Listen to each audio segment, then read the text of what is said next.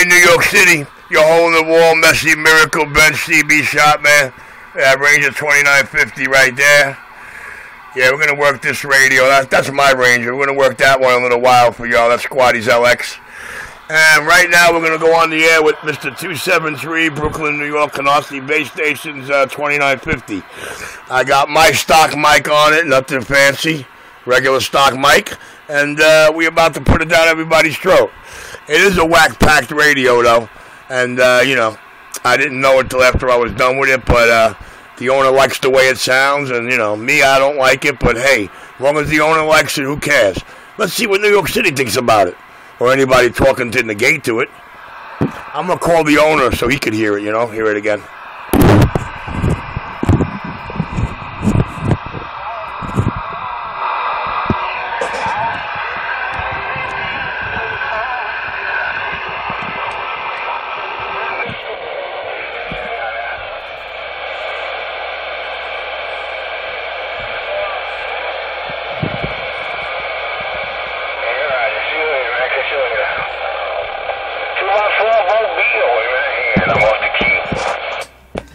Hey, 2 by 4 give me a quick radio check on this 2950. Hello. Man, I'm working the 273 Canarsie base station 2950. I need a radio check.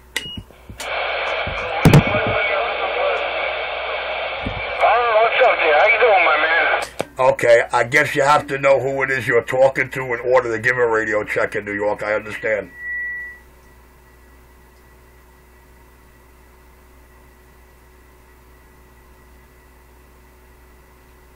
Audio. Let me lose that feedback, man. My headphones audio.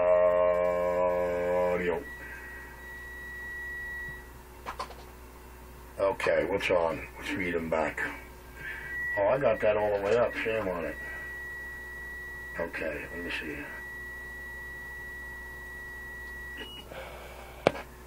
Shut that radio. There we go. I had a radio on and didn't know didn't know I had one of the you know because I got like four uh, four leads coming off my power supply on the workbench there, and a radio was lit up and on that I could not see in my vision, and I'm wondering where it's coming from.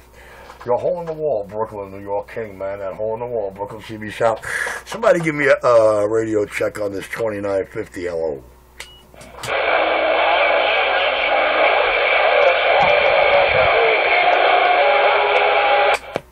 Alright, I appreciate that.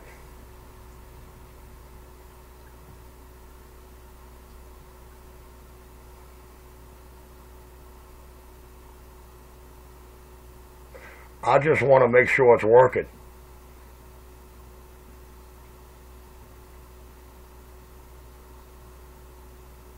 They told me it had some audio, but I, I care a lot about the audio clarity. So, you know, um, clarity with a whack pack radio to me is my big issue. Gotta find another hobby. Yeah? Why? Does this radio sound bad, sir? Uh, Mr. Find another hobby. How does this um, how does this Ranger 2950 sound with the stock mic? Does it sound bad, sir? No, it's clear. It's beautiful. Okay, it's clear, it's beautiful, it's nice. Well, you know, since I need to find another hobby, um, I am the hole in the wall Brooklyn CB shop, and uh, this radio I'm talking on belongs to a base station in Canarsie. And um, well, I, you know, I just wanted to get a couple of radio checks before I let it go home to his table. And uh, I appreciate that radio check. Who do we got, by the way?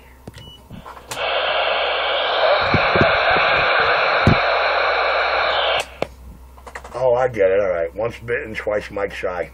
All right, man.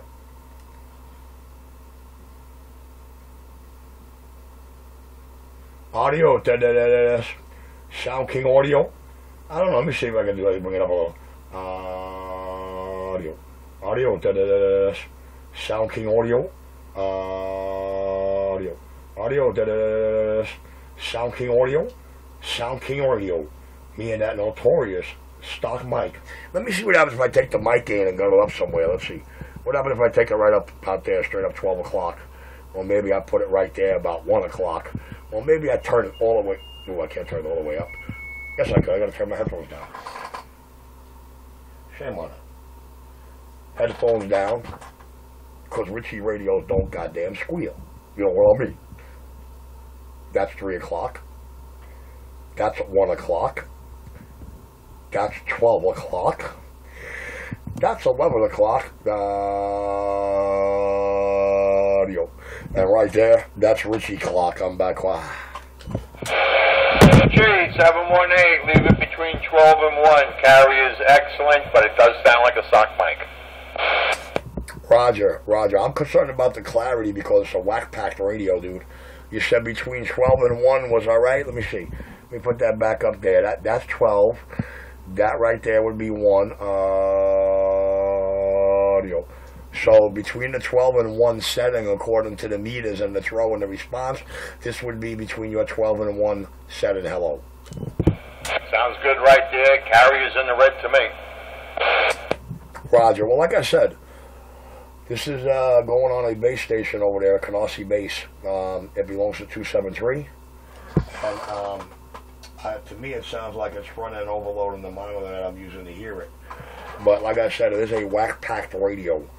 So, um, seeing as it is a whack-packed radio, my concern is with the clarity around the edges, the, the amount of its bassiness or its muffledness or its around the edge distortion, which are all three major characteristics to whack-packed radios.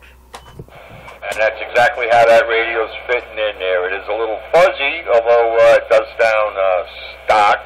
Uh, like I said, 12 to 1 is good. I'm sure with a power mic it probably sound better. And, but it's a very bassy radio.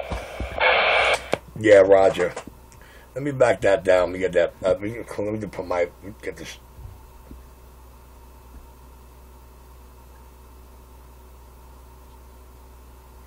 Audio check. audio. Yeah, it is a very bassy sounding radio, man. But um, like I said, I'm not going to be able to hear it till it winds up back on the owner's table. Uh, audio. Audio. Da, da, da. But um, this is what it sounds like with a stock mic. Right now I'm running at about a uh, 9 o'clock. 9 o'clock mic gain.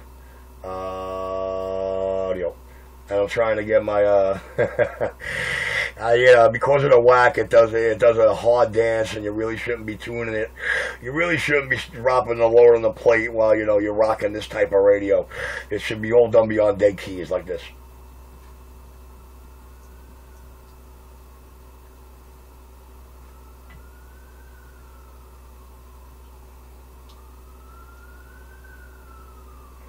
I'm sure the clarity now has a big difference.